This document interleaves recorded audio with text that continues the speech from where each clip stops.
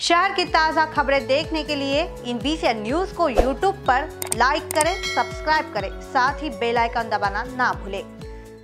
कारंजा घाड़गे झोपड़पट्टी परिसर में कल रात 9 बजे के करीब अतुल दुधे कावरे नामक युवक की चाकू मारकर हत्या कर दी गई है। इस हत्या की घटना से परिसर में खलबली मच गई है। हत्या के बारे में परिसर में चर्चा है कि मृतक अतुल दूध का और उम्र 25 साल आरोपी शिवाजी पाटमा से इंदिरा नगर निवासी आसपास ही रहते हैं।